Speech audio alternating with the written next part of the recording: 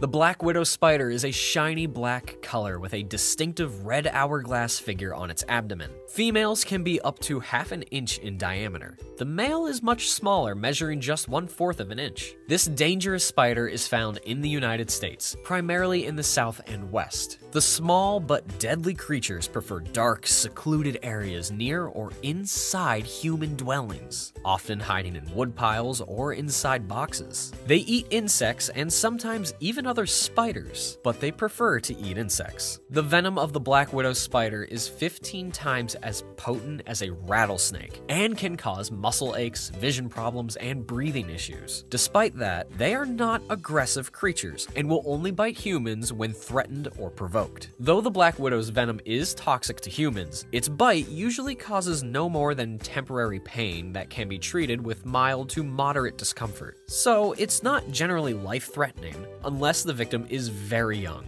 very old, or has a compromised immune system.